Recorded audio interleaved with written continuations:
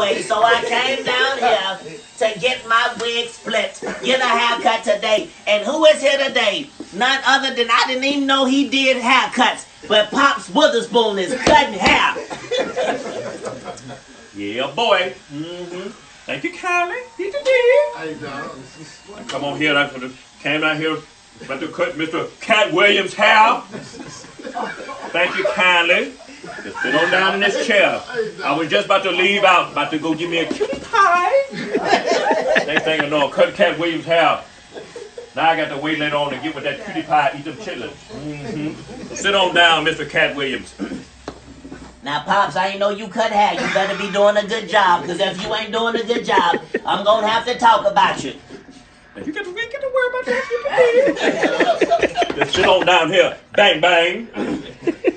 You doing way too much dancing to be getting ready to cut my hair. It's just making me quite uncomfortable. Flies is responding to it.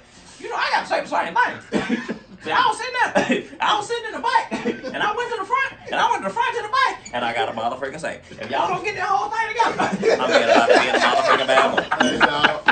Man, what the Well, you just heard it from the man himself. If you don't cut my hair good, it ain't going to be a good situation.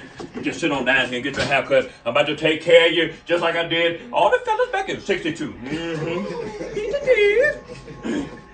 What I'm saying, Pops, you seem to be experienced. Eddie Murphy been sitting over there watching the whole thing. Uncle Ruckus is doing security. Oh, I got to say, I've been sitting over here the whole time. waiting on, waiting on